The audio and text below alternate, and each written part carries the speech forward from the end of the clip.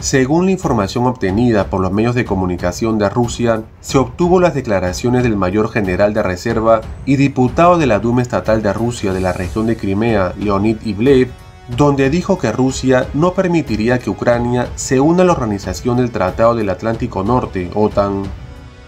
El anuncio se produjo después de que el secretario general de la OTAN, Jens Stoltenberg, anunciara en Kiev que Ucrania eventualmente se uniría a la alianza. Según Leonid Ivlev, enfatizó que para la Federación de Rusia, el ingreso de Ucrania a la OTAN significa el resurgimiento de una fuente de amenaza militar constante y Moscú no puede permitir tal situación. El parlamentario agregó que la declaración de Stoltenberg confirma una vez más la participación de la Alianza Atlántica en el conflicto militar del lado de Ucrania, abasteciendo al país de armas, equipo militar y entrenando personal militar, lo que contribuye a la escalada del conflicto. Cabe recordar que en septiembre del año 2022, el presidente de Ucrania, Volodymyr Zelensky, anunció que solicitaría la adhesión del país a la OTAN de forma expedita.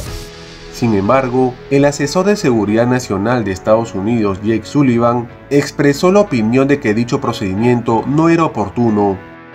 A su vez, Stoltenberg reconoció el derecho de cada país a elegir su propio camino y apoyó la política de puertas abiertas de la Alianza Atlántica, pero también subrayó que la OTAN se centrará en ayudar a Kiev a defenderse. El secretario de prensa del presidente de Rusia, Dmitry Peskov, al comentar las declaraciones de Zelensky, señaló que el Kremlin sigue de cerca el desarrollo de la situación y recuerda que el deseo de Kiev de unirse a la OTAN fue una de las razones para el inicio de la operación especial de Rusia en Ucrania. De acuerdo a la información que les he presentado, no se olviden de dejar su comentario o punto de vista ya que su opinión es muy importante para nosotros.